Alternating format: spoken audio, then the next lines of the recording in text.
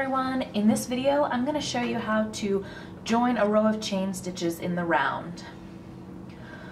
I have my chains here attached to my crochet hook already. So what I'm going to do is create a loop out of my chain. And I want to be careful not to twist the chain as I do this. That'll cause me problems down the line. But keeping the backs of the chains all facing into the circle, create a loop. Now I'm going to slide my crochet hook from back to front into my first chain stitch,